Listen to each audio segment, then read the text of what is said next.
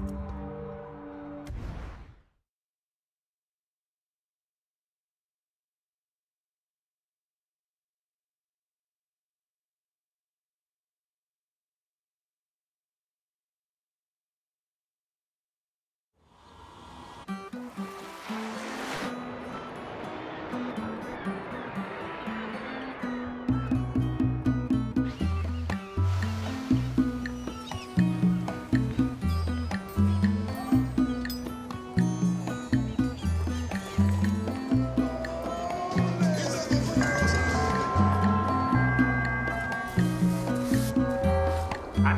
inhabitants of Concepcion. This is a reminder that curfew will be in effect tonight.